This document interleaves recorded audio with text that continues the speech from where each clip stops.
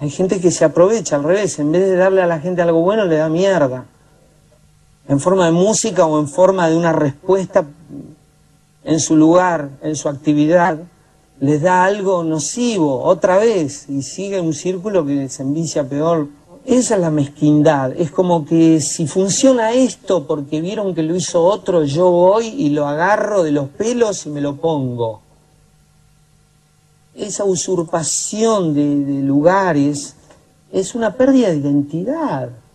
Ese lugar podría, estar, eh, podría ser ocupado por algo nuevo, algo diferente. Y bueno, hay que atreverse y ser nuevo, qué sé yo.